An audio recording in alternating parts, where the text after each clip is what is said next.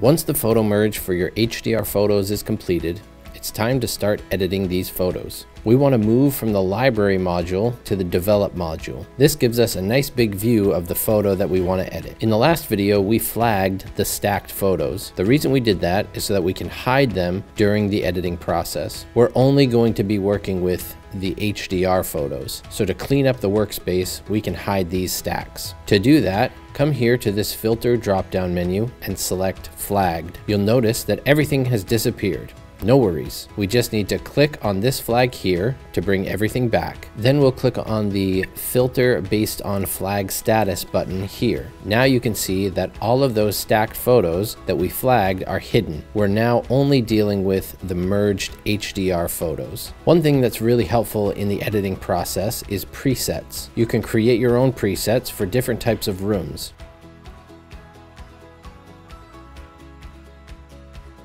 Here on the left side, you can see I've created some presets. Presets are settings that I've saved for a particular type of photo. So I have presets for aerial photos, exterior photos, and interior photos. The settings include things like exposure, color temperature, highlights, shadows, etc. Having these presets saves me a lot of time. Let me show you how to create a preset with the current settings we have. You just come here to the preset panel and click on this plus sign. Click create preset. Now you can choose which attributes you want to include in this preset. I select everything except transform. Then name your preset.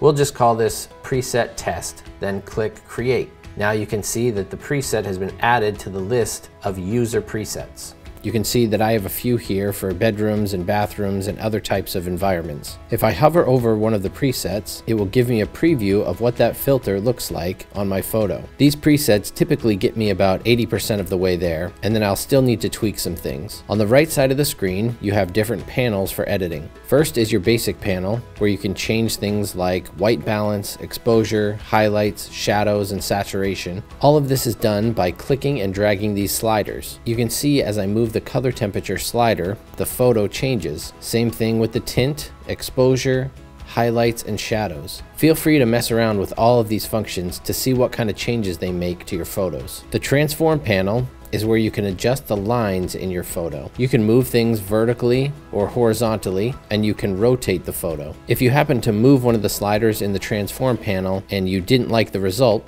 you can either hit Command Z on your keyboard on a Mac, or you can double click on the slider and it will go back to its neutral position. Since I've created some presets, let me show you how I would go about editing this photo. I'll click on my interior preset, then I would come here to the transform panel. If I click on the auto button, Lightroom will try to adjust the lines so they look straighter and more even. This doesn't always work, but it looks like it's adjusted the lines in this photo so they look a little better. Another way you can adjust each of these tools tools is by clicking the numbers next to the slider and using your up-down arrows on your keyboard. I found that this helps me be more precise in the changes that I make. You can see that as I use my arrow keys, there are slight adjustments being made to the color temperature. I know that these closet doors are white, so once I can make those doors white, all of the other colors in the photo should fall into place. We also have this HSL panel. Under the saturation section, you can use these sliders to get rid of colors that may be bleeding into your photo that you don't want. For example, on the right side of the closet door, there is a bluish tint that I want to get rid of. As I adjust the blue saturation slider up and down, you can see the changes to the closet door and the window. I'm fine with taking some of the blue out of the window as well. So you can see that the closet door looks more white. Just be careful when using the HSL saturation slider. You don't want to remove colors that are meant to be there. For example, if the walls were painted blue,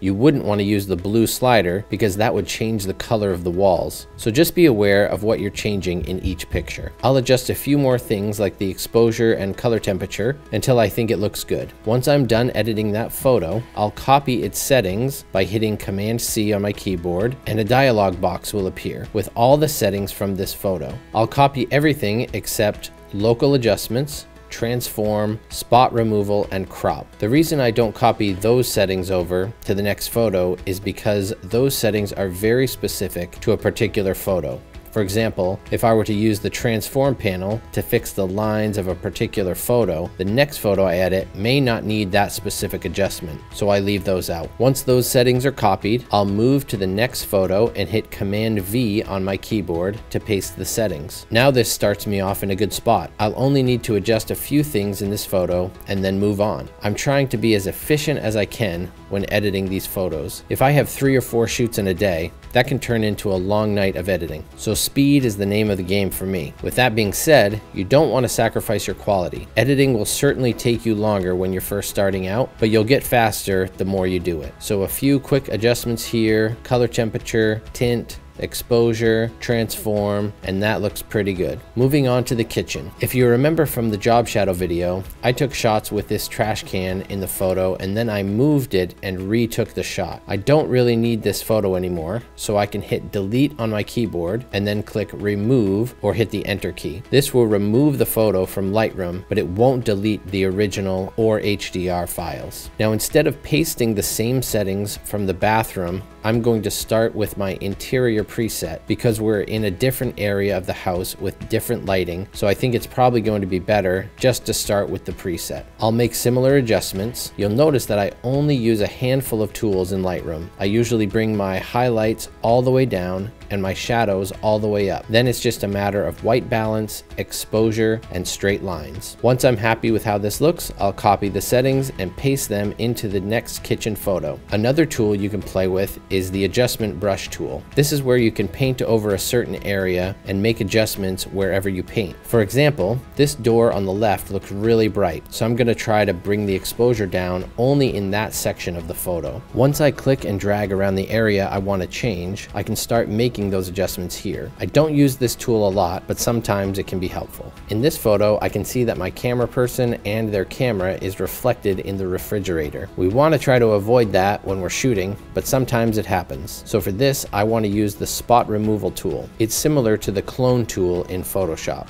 Once I have the spot removal tool selected, I'll paint over what I want removed. Lightroom will try to find a spot in the photo to clone this area. Sometimes it does a good job, but sometimes you have to move its selection. So I'll click and drag to a new spot on the fridge to see if I can at least get rid of that reflection. And I'll do the same thing with the camera reflection. And when I zoom back out, it looks pretty good. The spot removal tool works better on smaller objects, and we'll talk more about the spot removal tool in another video. Sometimes Lightroom can't merge photos to create the HDR because one of the photos is blurry. This happens when the camera doesn't focus properly.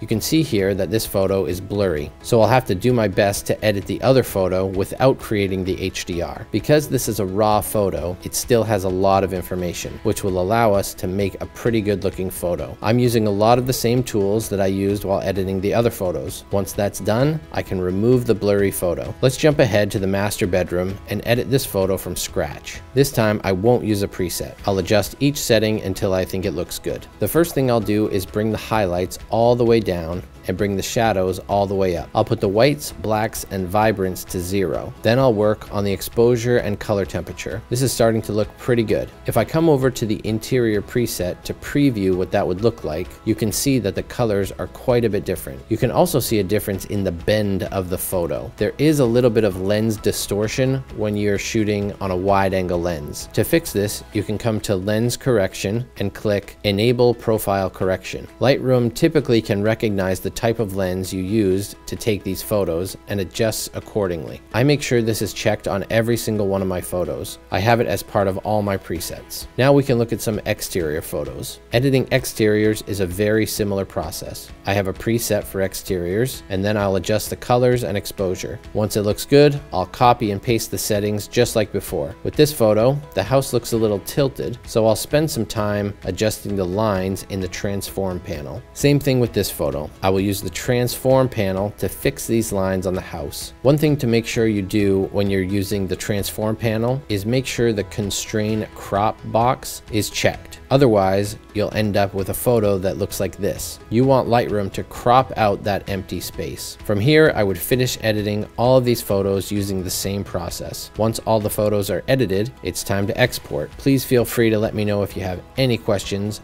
and remember, keep shooting swish.